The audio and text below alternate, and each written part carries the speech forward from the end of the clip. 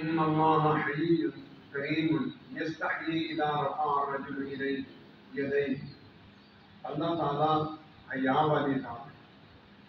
غیور ذات ہے حیا والی ذات ہے۔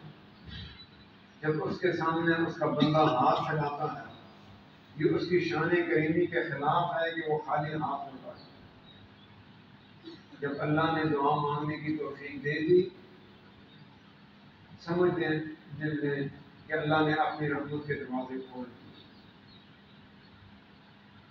قرآن کریم میں،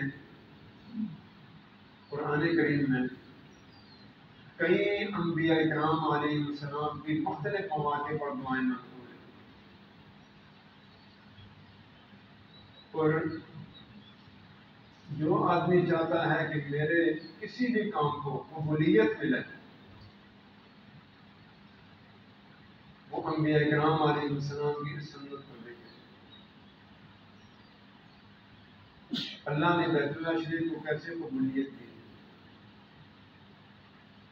اور سردار دو جہاں رحمت للعالمین صلی اللہ علیہ وسلم کی شان کے تو کیا کہنا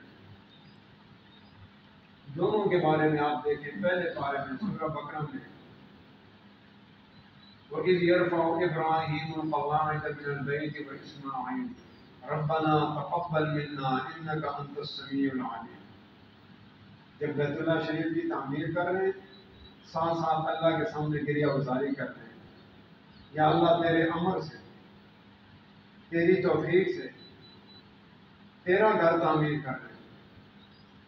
آدمی کو اپنے عمل کے اوپر اطمینان ہوتا ہے نا کہ یار میں عمل صحیح نیت، صحیح طریقے سے کر رہا تو اس کی قبولیت میں کیا شامل ہے؟ پھر بھی اللہ سے قبول کرنا۔ بیت اللہ کہاں سے سیدنا ابراہیم علیہ السلام کو حکم ہوا؟ فلسطین سے چلے۔ وہ بیاباں علاقے میں۔ یہاں اس کی تعمیر شروع کریں قدم قدم پر وحی کی روشنی میں کر رہے۔ ہیں اور ساتھ ساتھ معجزانہ تائید حاصل ہے۔ یہ جو مقام ابراہیم ہے یہ حضرت کے قدمین کے نشانات ہیں۔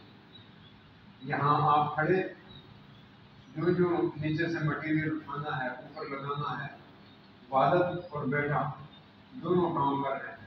اللہ کا گھر تعمیر کر رہے ہیں۔ جب نیچے ہونا ہے، وہ پتھر نیچے آ جاتا ہے۔ اب دیوار اونچی ہو گئی ہے، اوپر کا میں جا کے لگانا ہے، وہ پتھر اوپر چلا جا رہا ہے اب یہ کیا؟ یہ معجزہ ہے۔ اور یہ معجزہ اللہ کی تائید ہے، اللہ کی نصرت ہے قبولیت کی علامت ہے۔ اس کے باوجود عمل بھی کر رہے ہیں، ساتھ ساتھ گریا گزاری بھی کر رہے ہیں۔